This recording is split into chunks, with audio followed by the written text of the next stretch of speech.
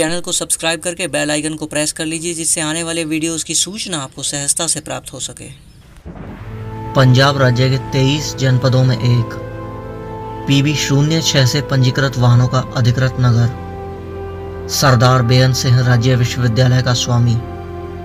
जनसंख्या के दृष्टिकोण से पंजाब राज्य का सत्ताईसवां सबसे बड़ा शहर, गुरदासपुर। उत्तर में पठानकोट से आने वाला राष्ट्रीय राजमार्ग गुरदासपुर के पूर्व से बाईपास होकर अमृतसर की ओर प्रस्थान कर जाता है। शहर के उत्तरी छोर पर स्थित बाईपास तिराहा से दक्षिण की ओर एक मुख्य सड़क गुरदासपुर शहर की ओर प्रवेश करती है। यह सड़क शहर में दीनानगर मार्ग के रूप में जानी जाती है। यह मार्ग राजकीय औद्योगिक प्रशिक्षण संस्थान एवं वेरका से होकर रेलवे फाटक को पार कर पश्चिम की ओर मुड़कर मुख्य गुरदासपुर शहर में प्रवेश करता है। इस मार्ग को शहर में दीनानगर मार्ग अथवा जीटी रोड के रूप में जाना जाता है। सड़क के दोनों ओर अनेकों सुंदर भवन एवं वाणिज्य कॉम्प्लेक्स दिखाई पड़ते हैं। गुरदासपुर शहर एवं शहर में समा चुकी ग्राम पंचायतों को जोड़कर गुरदासपुर शहर में वर्तमान में लगभग एक लाख एक हज़ार की जनसंख्या निवास करती है। यह जनसंख्या के दृष्टिकोण से पंजाब राज्य का सत्ताईसवां सबसे बड़ा शहर है। यह गुरदासपुर जनपद में बटाला के पश्चात दूसरा सबसे बड़ा शहर है। पश्चिम में बढ़ते हुए सड़क जहाज़ चौक पर पहुँचती है। जहाज़ चौक शहर के व्यस्त चौराहों में एक है। यहाँ से दक्षिण में सड़क हनुमान चौक की ओर, पश्चिम में सड़क बस स्टैंड की ओर, एवं उत्तर में सड़क सिविल लाइंस रोड के रूप में जानी जाती है। सिविल लाइंस मार्ग पर कुछ ही दूरी तय करते ही रेलवे रोड चौराहा दिखाई पड़ता है। यहाँ से पश्चिम की ओर गुरदासपुर जनपद के उपायुक्त एवं पुलिस अधीक्षक कार्यालय एवं कलेक्ट्रेट आदि के परिसर स्थित हैं। पूर्व की ओर का मार्ग लगभग आधा किलोमीटर दूरी तय कर रेलवे स्टेशन गुरदासपुर से जोड़ता है। गुरदासपुर से होकर अमृतसर पठानकोट रेल मार्ग गुजरता है। यहाँ से जम्मू, अमृतसर, पठानकोट जोधपुर आदि को सीधी रेल सुविधाएँ उपलब्ध हैं। जहाज़ चौक से पश्चिम में सड़क, बस स्टैंड एवं पोस्ट ऑफ़िस चौक की ओर बढ़ जाती है।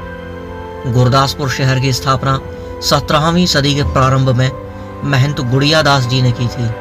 उन्हीं के नाम पर शहर का नामांकरण गुरदासपुर हुआ। थोड़ा आगे बढ़ते ही सड़क, बस स्टैंड गुरदासपुर से गुजरती है। गुरदासपुर बस स्टैंड से पंजाब राज्य के महत्वपूर्ण शहरों में आवागमन हेतु सीधी बस सेवाएँ उपलब्ध हैं। बस स्टैंड से पश्चिम में सड़क पोस्ट ऑफ़िस चौराहा की ओर बढ़ जाती है, एवं कुछ ही दूरी तय कर पोस्ट ऑफ़िस चौराहा पर पहुँचती है। पोस्ट ऑफ़िस चौराहा भी शहर के व्यस्त चौराहों में एक है। यहाँ से दक्षिण में सड़क बाटा चौक की ओर, पश्चिम में सड़क पुरानी सब्ज़ी मंडी चौक की ओर, एवं उत्तर की सड़क जेल रोड के रूप में जानी जाती है।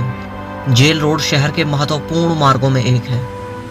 गुरदासपुर को ब्रिटिश भारत में ही जनपद का दर्जा प्रदान कर दिया गया था। ब्रिटिश काल में गुरदासपुर लाहौर डिवीज़न के छह जनपदों में एक था। उस समय यह जनपद चार तहसीलों, गुरदासपुर, पठानकोट, बटाला एवं शकरगढ़ में विभाजित था। साथ ही हिमाचल प्रदेश का डलहौजी शहर भी गुरदासपुर जनपद की पठानकोट तहसील का ही हिस्सा था। गुरदासपुर जनपद में मुस्लिम जनसंख्या का प्रतिशत अधिक होने के कारण इसे पहले पाकिस्तान में सम्मिलित किया गया। एवं यहाँ पाकिस्तान द्वारा उपायुक्त एवं पुलिस अधीक्षक की नियुक्ति भी कर दी गई थी। किंतु जम्मू और कश्मीर जाने वाला एकमात्र मुख्य मार्ग पठानकोट से होकर जाने के कारण जवाहरलाल नेहरू एवं सरदार वल्लभ भाई पटेल के हस्तक्षेप के चलते इसे 17 अगस्त 1947 को भारत में विलय कर दिया गया। जेल रोड उत्तर में दीनानगर रोड की ओर प्रस्थान कर जाता है। पोस्ट ऑफ़िस चौक से दक्षिण में बाटा चौक की ओर जाने वाली सड़क पर चंद कदमों की दूरी पर ही लाइब्रेरी चौक स्थित है। यहाँ से दक्षिण पूर्व में शहर की एक मुख्य सड़क हनुमान चौक की ओर प्रारंभ होती है। यह मार्ग शहर के आधुनिक बाजारों में एक है। 17 अगस्त 1947 को गुरदासपुर के भारत में सम्मिलित होने पर ज़िले की सर्वाधिक मुस्लिम जनसंख्या वाली तहसील शकरगढ़ को पाकिस्तान के सियालकोट जनपद में जोड़ दिया गया। एवं बटाला, गुरदासपुर एवं पठानकोट तहसीलों को भारतीय पंजाब राज्य में सम्मिलित कर लिया गया। 1966 में राज्य के पुनर्गठन के समय पठानकोट तहसील के डलहौजी क्षेत्र को हिमाचल प्रदेश के चंबा जनपद में सम्मिलित कर दिया गया।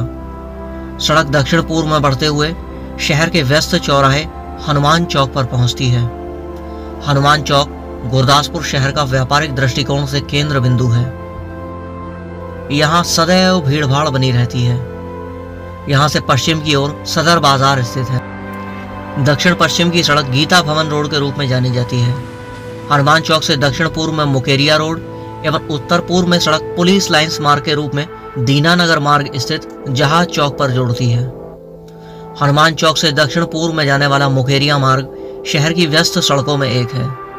यह मार्ग अब पूर्णतः व्यापारिक बाज़ार के रूप में विकसित हो चुका है। गुरदासपुर जनपद के विशाल भूभाग एवं जनसंख्या को देखते हुए 2011 में इसके उत्तरी भाग में स्थित पठानकोट तहसील को विभाजित कर पठानकोट जनपद की स्थापना की गई।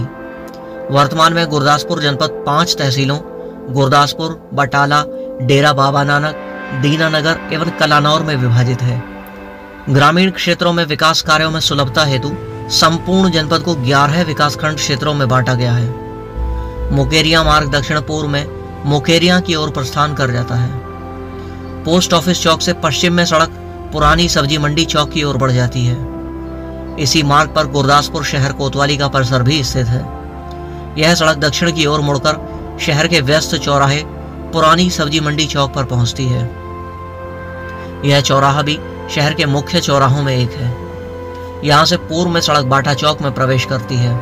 उत्तर पश्चिम में सड़क गवर्नमेंट कॉलेज, मार्ग के रूप में जानी जाती है। यह महत्वपूर्ण सड़क देश के विभाजन से पूर्व शकरगढ़ से जोड़ती थी, एवं शकरगढ़ होकर जफरवाल, सियालकोट आदि महत्वपूर्ण शहरों से जोड़ती थी। इस मार्ग पर शहर के हेमराजपुर, संतनगर आदि क्षेत्र भी बसे हुए हैं। इसी मार्ग पर शहर का गवर्नमेंट कॉलेज का परिसर भी स्थित है।